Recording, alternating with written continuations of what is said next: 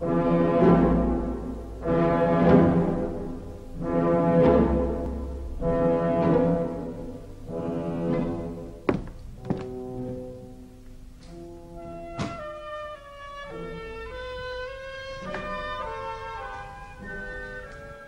l'affaire réglée, l'Université de Paris avait son rapport au pape. Rien, enfin tout de même, c'était les délégués du pape, il fallait qu'ils avertissent le PDG.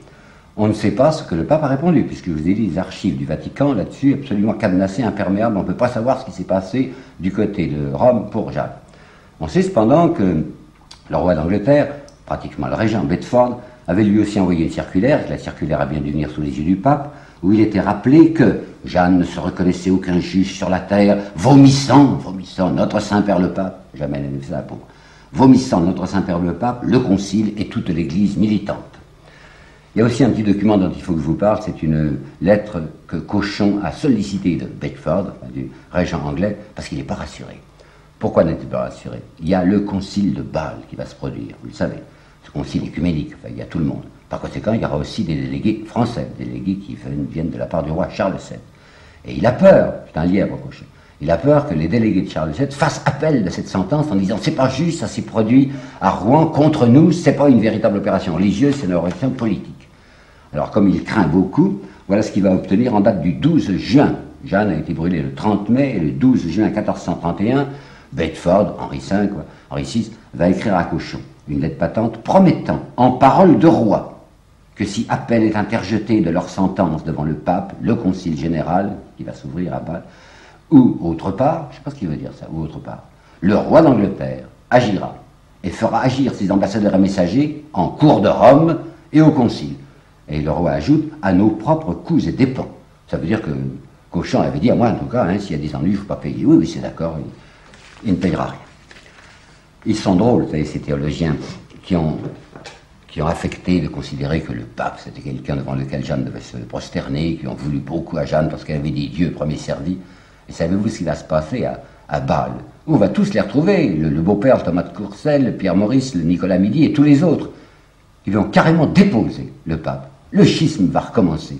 Dans mon premier exposé, je vous avais raconté ce qui s'était passé misérablement pendant 39 ans, enfin près de 40 ans, où il y avait des papes rivaux. Et eh bien de nouveau, ça va être les gens de l'université de Paris qui vont trouver que ce pape ne leur plaît plus, vont le déposer, vont mettre à la place un autre qui s'appelle Félix V. Alors vous imaginez, ça va recommencer les excommunications. Et il y en a une que dont j'ai lu le texte qui m'amuse particulièrement, c'est que le pape de Rome, qui est furieux du nouveau pape qu'on a fabriqué à Bâle, qui s'appelle Félix V, va déclarer dans une encyclique d'excommunication que ce pape-là est le jouet des enchanteurs et des sorcières. Enfin, c'est une vraie Jeanne d'Arc, ce, pauvre Félix V. Ce qui n'empêchera pas le Thomas de Courcelles, Thomas de Courcelles, que vous avez vu, qui voulait qu'on torture à Jeanne, de happer un chapeau de cardinal auprès du nouveau pape. Enfin, c'est du très joli monde, tout ça. On ne va plus parler de Jeanne pendant très longtemps. Pendant 18 ans, il n'en est en somme plus question. Elle disparaît, quoi. Elle est brûlée, est enfumée, on n'en parle pas. On en parle quand même à Orléans. Les gens d'Orléans lui ont conservé un souvenir fidèle, respectueux, et il y a un mystère, comme on disait à l'époque, un mystère, c'était une pièce religieuse qui se jouait sur le parvis de la cathédrale avec 24 000 vers. Le mystère de la délivrance d'Orléans. Ça vaut rien, naturellement, c'est touchant parce qu'on voit que les gens d'Orléans ont conservé un bon souvenir de Jeanne, mais ils l'ont un peu arrangé, un peu transfiguré, Jeanne.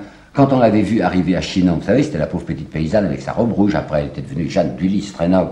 Alors dans le mystère, dont je n'ai pas lu, je dois dire, les 24 000 vers, mais j'ai vu un résumé, il y a ceci, Jeanne parle et dit en vers, quant à l'hôtel de mon père, l'hôtel de son père, c'est la misérable baraque de, de quant à l'hôtel de mon père, il est en pays barois. Oui, il faut que ça soit Jeanne, une Jeanne de bonne compagnie maintenant. Ça, c'est pas intéressant.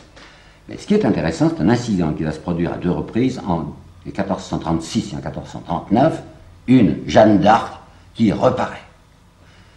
Il faut nous mettre dans la psychologie de l'époque. Hein. À ce moment-là, les gens vivent souvent dans une atmosphère de miracle, ils croyaient à la présence euh, des anges. Et puis même si on ne fait pas allusion à ce sentiment religieux, quand quelqu'un a beaucoup marqué, lorsqu'une grande personnalité a apparu puis a disparu, les gens quelquefois sont prêts à croire à une résurrection, un retour mystérieux. Je me rappelle le, film Viva Zapata, je ne sais pas si vous vous souvenez, bien à la fin de Viva Zapata, Zapata qui était un révolutionnaire très noble, un révolutionnaire mexicain, il a été tué.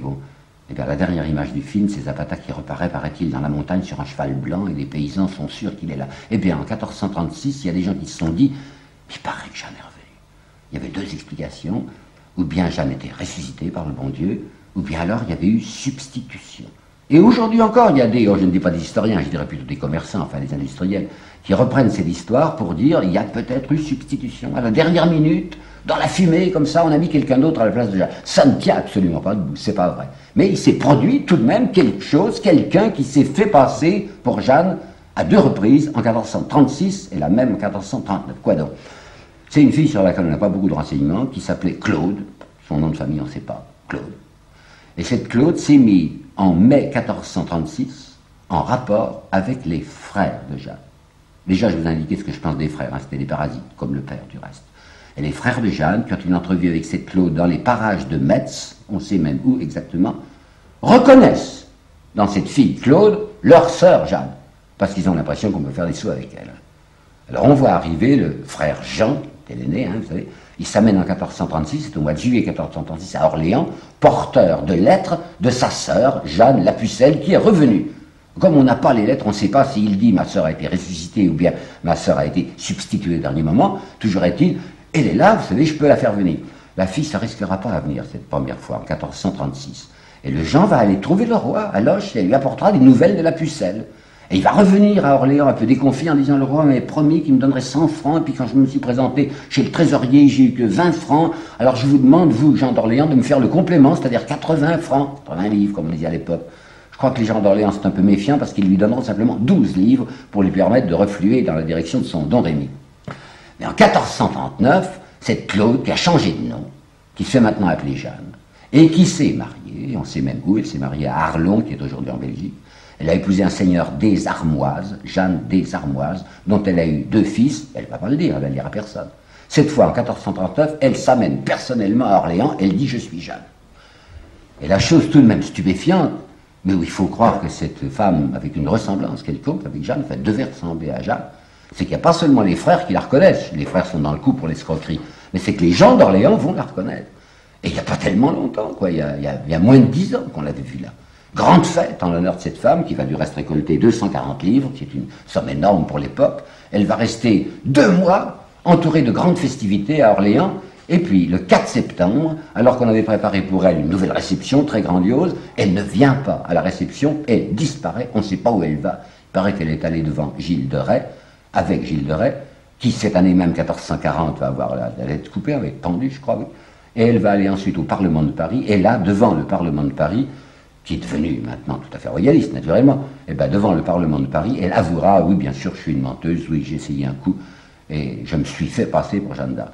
Alors si je vous raconte cette histoire, un, c'est pour vous montrer que les frères de Jeanne sont drôles de coco, et puis deuxièmement, c'est pour vous dire qu'aujourd'hui encore, enfin il y a quelques années, il y a des bouquins qui paraissent pour dire Jeanne a-t-elle été brûlée? Mais bien entendu, elle a été brûlée. L'histoire de Jeanne des Armois, c'est l'histoire d'une imposture, c'est tout. Quant au roi, lui, oh, il s'occupait absolument plus de Jeanne. Il avait simplement bénéficié de ce que Jeanne avait fait pour lui.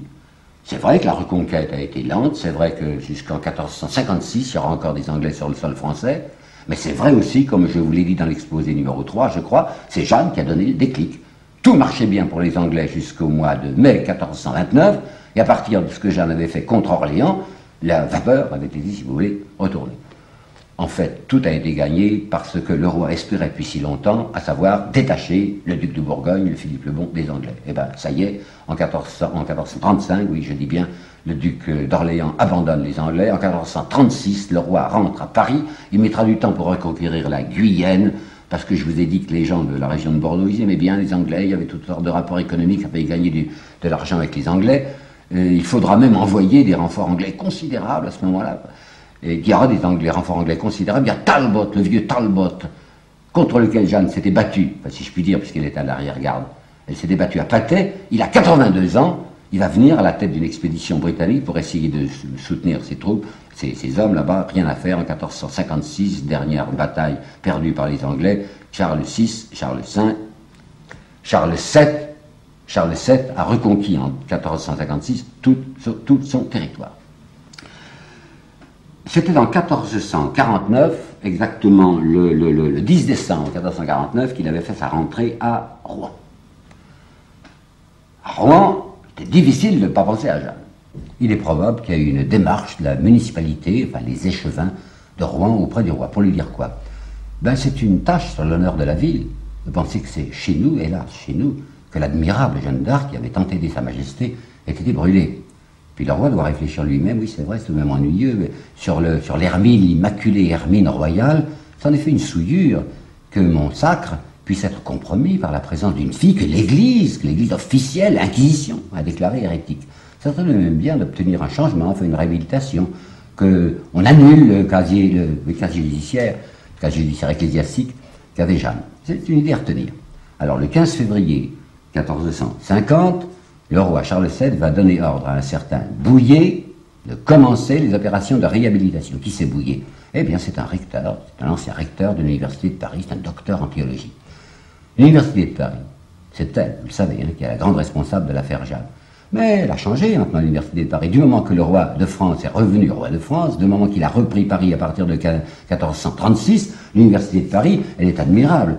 Lorsque le roi est arrivé, il est venu en 1437 à Paris. Et elle a fait une adresse à Sa Majesté qui, qui vous serre le cœur, vous savez, toutes les joyeuses consolations que Dieu, dans sa grâce, nous a envoyées. Elle acclame la réduction soudaine et merveilleuse de votre bonne ville. Nous nous déclarons, disaient les universitaires de Paris, nous déclarons à plein nos bonnes loyautés et intentions, et après nos longues afflictions, la joie enfin qui la nôtre de vous avoir retrouvé, Majesté.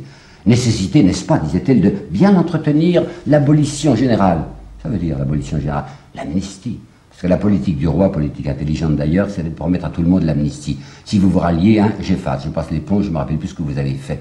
Alors l'amnistie euh, fait ses petits, l'université fait des petits jappements que vous savez, les jappements d'adoration pour le roi, mais ne manque pas de lui rappeler abolition générale. Hein, vous, vous, vous, avez tout oublié. Elle a tellement tout oublié maintenant qu'en effet, elle va être toute prête, par la voix de son représentant Bouillet, à dire le contraire de ce qu'elle avait dit précédemment. Un il va, s'y mettre, il va s'y mettre avec une gentillesse extrême, ou plutôt, je trouve même avec une grande maladresse, parce qu'il va dire à tout le monde, dans ses rapports, dans ses indications, il va dire à tout le monde que c'est une affaire politique. En effet, voici ce qu'il déclare, voyez, met les pieds dans le plat. L'honneur du roi très chrétien veut que l'on n'ensevelisse pas dans le silence la sentence inique, scandaleuse, injurieuse à la cour royale qui a été fulminée par l'évêque de Beauvais, ennemi du roi et notamment notoirement dévoré du désir de le déshonorer.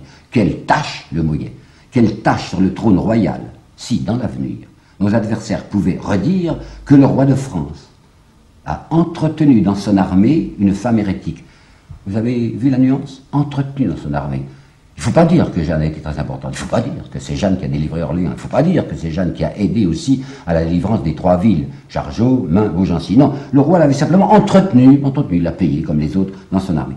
C'est pourquoi, continuait le bouillet, c'est pourquoi la sérénissime majesté royale est tenue de faire resplendir l'innocence de cette pucelle. Ainsi seront désormais fermées les bouches des calomniateurs et une fidélité inviolable est assurée à la maison royale. Ah ben c'était net, hein Pas du tout d'idée religieuse là-dedans, absolument une idée politique. Et ça, je le souligne fortement devant vous, le procès de condamnation de Jeanne est un procès politique déguisé en affaire religieuse. Le procès de réhabilitation de Jeanne qui survient maintenant 25 ans après, c'est la même chose. C'est encore une affaire qui passera pour une affaire religieuse et qui est en fait et totalement une affaire politique. Alors le bouillier s'y met.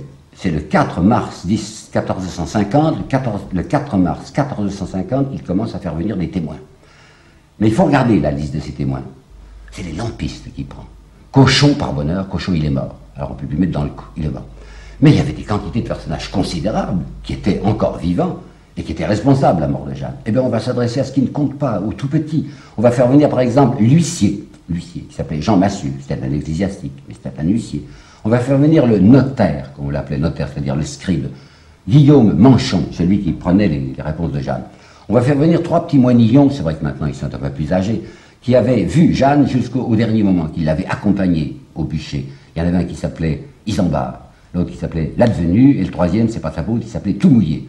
Eh bien, l'advenu, le Isambard et le Tout Mouillé, ils vont être là pour dire, oh, elle était magnifique cette Jeanne. Exactement le contraire de ce qu'ils avaient dit précédemment. Et puis le 5 mars au matin, c'est-à-dire le deuxième jour des interrogatoires, c'est Beau-Père qui apparaît. C'est autre chose, pas un lampiste, un Beau-Père. Beau-père, c'est devenu quelqu'un d'ultra considérable. Vous avez vu déjà le nombre de canonicats qu'il cumulait. Qu'est-ce qu'il vient faire à Roi ben Justement, il avait reçu des canonicats du temps de l'invasion, de l'occupation anglaise, et il vient demander, très humblement, à Sa Majesté Charles VII de lui confirmer les bénéfices que les Anglais lui avaient donnés. D'accord, d'accord, tous les bénéfices que vous voudrez, c'est très bien. C'est mon beau-père. Un monsieur, et puis il est tout le temps en rapport avec Rome. Alors il fait une déposition extrêmement brève, où lui, ah, pour une fois, lui ne recule pas. Lui ne dit pas le contraire de ce qu'il avait dit autrefois. Il dit même quelque chose d'assez intéressant. Il dit Oh, cette Jeanne, elle était subtile. Hein. Je l'ai vue devant moi. Elle était d'une subtilité féminine, dit-il. on voit que c'est un misogyne. Subtilité féminine. Et puis il fait une déposition très très très courte.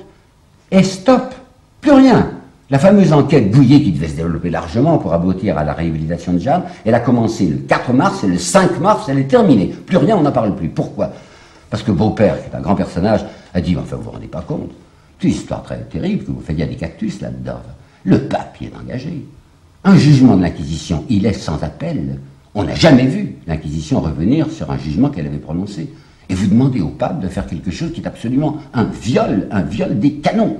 Les canons de l'Église ne permettent pas de revenir sur une sentence ecclésiastique. Il n'y a rien à faire. Si vous exigez ça, si vous tentez d'exiger ça du pape, le pape va être dans une situation terrible, parce qu'il est capable de se faire déposer, vous savez on l'a vu déjà la déposition de 1439, quand l'université de Paris s'était déchaînée contre lui et avait substitué à ce malheureux pape un autre pape privable qui s'appelait Félix V, lequel était déclaré jouer des sorcières, comme je vous l'ai dit. Vous allez mettre le pape actuel dans une situation invraisemblable. Il est vrai que le roi a réfléchi et se dit Oui, mais ce nouveau pape qui s'appelle Nicolas V, je lui ai rendu un grand service. Le pape précédent, qui s'appelait Eugène IV, vous ne pouvez rien lui demander. Parce que le roi de France, en 1438, avait fait un sale coup au pape. En 1438, le roi de France Charles VII avait pris ce que les historiens appellent la pragmatique sanction. Ça veut dire une décision unilatérale. Et une décision qui concernait ces affaires perpétuellement en cause entre Rome et la France, comme entre Rome et les autres souverains, à savoir la répartition des bénéfices et la nomination des évêques. Eh bien, faisant un coup de force, le roi de France Charles VII, en 1438, avait décidé, c'est moi qui attribuerai la plupart des gros bénéfices, c'est moi qui nommerai les évêques. C'est un coup très dur pour le pape, il lui arrachait, il lui arrachait la nose de la bouche. C'est un peu ce que fera d'ailleurs plus tard Napoléon Bonaparte, qui ne s'appelait à ce moment-là que Bonaparte, au moment de son concordat, lorsqu'il ajoutera au concordat ce que l'histoire appelle les articles organiques, et que le, malheureux pape, qui s'appelait à ce moment-là Pie VII, sera bien obligé d'avaler. Alors le, le IV avait été complètement furieux contre le roi de France. Le nouveau, qui s'appelle Nicolas V, sachant, on lui a rendu service. L'antipape, le Félix V dont je vous ai parlé, il avait tout de même duré dix ans. Mais cette année même, 1449, c'est en 1449 qu'elle commence, cette année même, 1449, le roi de France, Charles VII, était intervenu auprès de ce Félix V pour lui demander d'abdiquer. Qui est-ce qu'il lui avait envoyé même? C'est amusant. Il lui avait envoyé Dunois, Dunois, le compagnon de Jeanne. C'est Dunois qui se rendant à Lausanne, c'était un Savoyard, le Félix V, qui se rendant à Lausanne avait persuadé Félix V de se retirer. C'était une énorme épine qu'on retirait du pied du pape. Alors, comme la France y avait beaucoup participé, le roi Charles VII se disait il me doit quelque chose, le Nicolas V, je lui demande la réhabilitation de Jeanne, il va peut-être marcher. Mais il ne se rend pas compte qu'il y a les canons de l'Église. Et c'est justement ce que lui fait remarquer beau-père.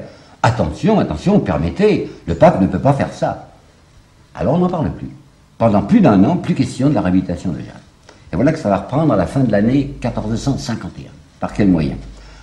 Ben, le nouveau pape, Nicolas V, il est très préoccupé de cette histoire de la pragmatique sanction. Hein. Je vous rappelle, c'est une chose que le roi avait pris sous son bonnet et l'Église ne valait pas. Alors le roi va recevoir un légat qui s'appelle d'Estouteville, le cardinal d'Estouteville, que le pape lui envoie. Le pape avait cru qu'il avait fait un très bon choix parce que, d'une part, d'Estouteville était français, d'autre part, il était même apparenté au roi. C'est un cousin issu de Germain de Sa Majesté Charles VII. Mais Charles VII, qui se doute très bien de ce que vient faire les Stouteville, c'est-à-dire discuter avec lui du coup de la pragmatique, ne veut pas le recevoir.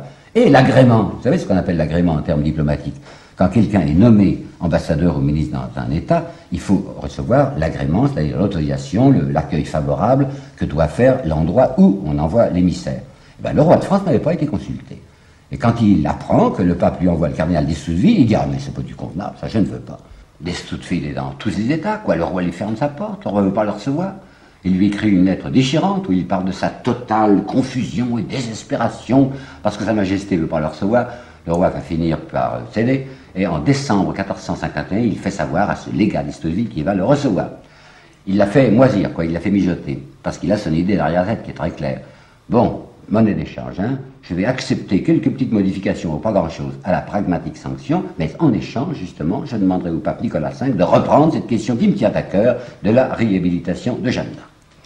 Alors voilà le malheureux d'Estouteville qui est en, proie au même drame que Bouillet. Comment est-ce qu'on va faire quelque chose qui est un viol des canons de l'Église? Et il lui paraît qu'il n'y a qu'une seule solution, c'est de mettre l'Inquisition dans le coup. Mais est-ce que l'Inquisition va marcher? Ah, vous savez, l'Inquisition, maintenant que le roi de France a gagné la partie, l'Inquisition en France, elle est très gentille. Et celui qui a succédé à ce Jean Graveran, inquisiteur de la perversité hérétique au moment de 1431, c'est un nommé Jean Bréal. Et ce Jean Bréal, il est extrêmement compréhensif, d'autant plus que le roi va le payer assez grassement. Et le Jean Bréal, inquisiteur général sur la France, dit oui, oui, oui, on va s'arranger. Et on a une lettre de Jean Bréal qui est misérable parce qu'elle est exactement dans le ton de Bouillet, où il avoue tranquillement, enfin cyniquement, où il a vu que c'est une aberration politique. Mais ça vaut la peine que je vous la lise, cette lettre. Elle est du 31 décembre 1452. Le roi estime que son honneur, hein, c'est clair, le roi estime que son honneur, pas celui de que son honneur, a été très gravement atteint par ses ennemis anglais dans le jugement qu'ils ont prononcé contre une certaine simple pucelle et vierge, vous vous rappelez, hein, simple pucelle et vierge, et qui la brûlèrent méchamment. Le mot est dans le texte, c'est charmant.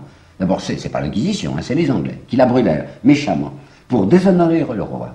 Aussi, Sa Majesté désire-t-elle extrêmement, ça veut dire c'est un ordre, désire-t-elle extrêmement faire éclater ce qu'il en est en vérité de cette sentence. À cette fin, elle, la Majesté, m'a commis et enjoint, ben, il ne cache pas qu'il est en service commandé, hein. elle m'a commis et enjoint, moi, humble inquisiteur en ce royaume, de tout faire pour rétablir la vérité. Puis la fin, la fin vaut vraiment ce pesant d'or. C'est à quoi je m'emploie, et ce qualité ayant été choisi comme tel, afin qu'il apparaisse clairement que tout esprit de parti est exclu de cette affaire. C'est magnifique. Dans la même lettre, au début, il dit il s'agit d'une affaire politique, hein, c'est le roi qui considère que son honneur a été entaché, mais comme c'est moi, inquisiteur, qui m'en occupe, je suis là en qualité d'inquisiteur pour montrer qu'il n'y a aucun esprit de parti dans cette affaire et que c'est absolument une histoire religieuse. Il s'avançait beaucoup, le Bréal, de faire une chose pareille, mais je sais bien ce qu'il voulait faire. Bréal voulait essayer de faire annuler le jugement, comment dirais-je, par la bande, sur les bords, par le biais. C'est-à-dire, on ne regardera pas ce qu'il y a dans le jugement, mais on dira les conditions n'étaient pas remplies. La procédure canonique avait été violée. Elle avait été violée euh, deux fois. Premièrement, parce que Cochon aurait dû exiger que Jeanne, qui était prisonnière de l'Inquisition, fût dans une prison d'église. Or, elle n'était pas dans une prison d'église. Et d'autre part, il n'était qu'avec de Beauvais, et c'est à Rouen que l'opération a été faite. Je sais bien qu'il a obtenu, comme on disait à ce moment-là, le pouvoir de territorialité, mais il l'a obtenu d'une manière abusive. Cochon n'était pas qualifié, canoniquement, il n'était pas qualifié pour le faire le procès de Jeanne. En somme, on essaye de détruire le procès sans parler de la chose elle-même. Le roi ne marche pas. Il dit non, non, je ne veux pas qu'on détruise le procès en disant que le procès est malvenu, qu'il est non avenu. Je veux que l'Église, je veux que Rome dise Jeanne était une catholique parfaite, une catholique à part entière. Terrible, très difficile. L'Estouteville avait recommencé ses enquêtes, il avait recommencé à faire venir des gens, mais ça va tout de même beaucoup durer parce que le pape ne veut pas marcher. Il se dit, je vais me mettre dans un cas terrible. Alors c'est le Bréal qui est pas bête, c'est le Bréal qui a trouvé le coup, qui a trouvé le joint. Bréal, chef de l'Inquisition, va dire, il ne faut pas qu'on puisse dire que le pape cède à une pression politique. Il ne faut pas que le roi de France apparaisse visuellement dans l'histoire. Alors on pense à la sainte famille de Jeanne. Il n'y a plus de père, mais il y a des frères, et il y a surtout la pauvre vieille mère. Pauvre vieille mère, personne s'en est occupé de la vieille mère. Hein. Elle est encore vivante, elle est à Orléans, elle est entretenue par la municipalité d'Orléans à 48 sous par mois. 48 sous par mois, hein pas même une livre par mois. Elle est entretenue misérablement. C'est probablement une pauvre femme qui a plus ou moins perdu la tête. Enfin, c'est.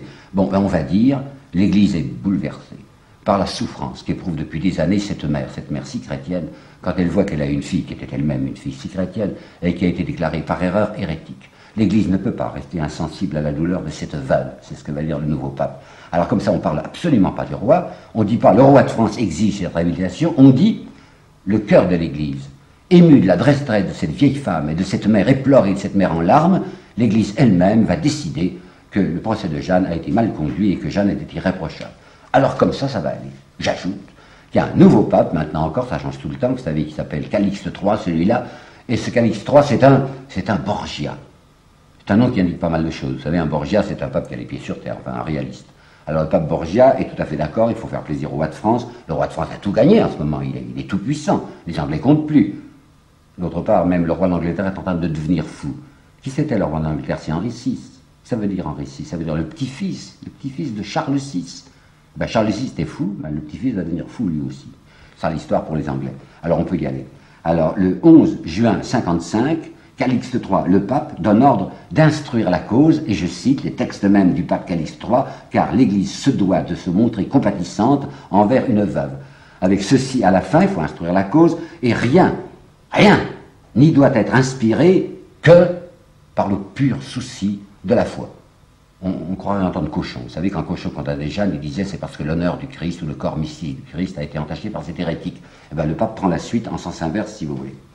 Alors on va assister à une chose pitoyable dont les gens qui veulent bien se laisser bourrer le crâne disent que c'est admirablement émouvant, c'est la scène de Notre-Dame de Paris du 7 novembre 1455. Ce jour-là, dans l'église Notre-Dame de Paris, on va faire venir la pauvre vieille maman de Jeanne, qui est soutenue par ses frères, qui ne sait pas de quoi il s'agit, et on lui demande de lire un texte, elle ne sait pas lire, alors il faudra qu'elle répète, et elle va lire, elle va répéter, comme elle pourra, un texte de supplique au pape pour la réhabilitation de sa fille.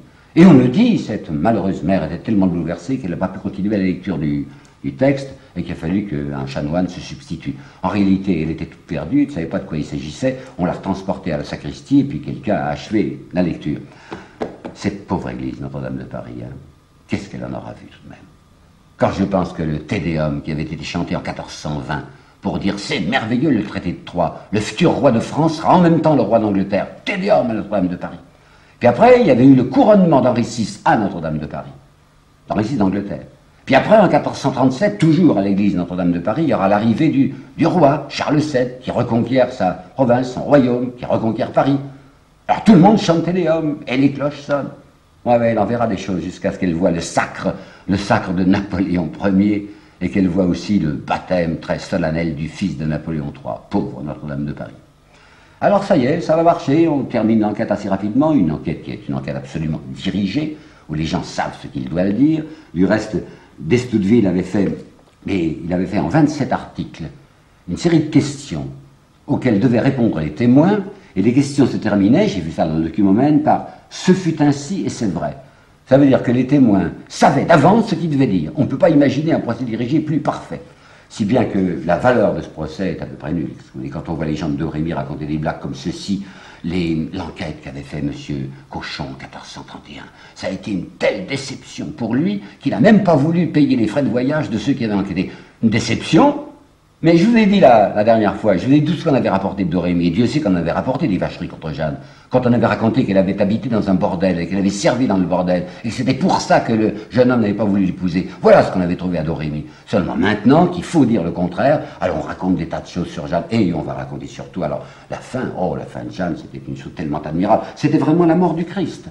Alors on ajoute des quantités de petits détails qu'elle a crié sept fois Jésus alors qu'elle avait hurlé Jésus, vous savez comment on appelle au secours au moment où le souffle avait pris sur elle. Pourquoi cette fois? Parce qu'elle est cette parole du Christ. Parce que vous savez bien que dans l'évangile, y apparaît-il un centurion qui a été converti brusquement en disant nous avons crucifié le Fils de Dieu. Et bien maintenant on va inventer qu'il y a le secrétaire du cardinal de Winchester et qu'il y a le bourreau lui-même qui le soir est venu au couvent des dominicains et qui a dit c'est affreux, on a brûlé une sainte. Il paraît, il y a des gens qui disent que dans la fumée qui s'est élevée sur le brasier de Jeanne, on a vu distinctement écrit le mot Jésus. Il y a un moine, je ne sais plus si c'est l'advenu ou tout mouillé, qui dit, j'ai pas vu moi, mais on m'a affirmé que, au moment où Jeanne est morte, une colombe blanche est sortie du, du bûcher. Tel Saint-Esprit. Mais c'est un esprit surtout plutôt, plutôt royaliste que céleste, parce qu'il volait du côté de la France, de Saint-Esprit. Et on va même faire tenir à Jeanne des propos qu'il n'est pas sûr qu'elle ait tenus.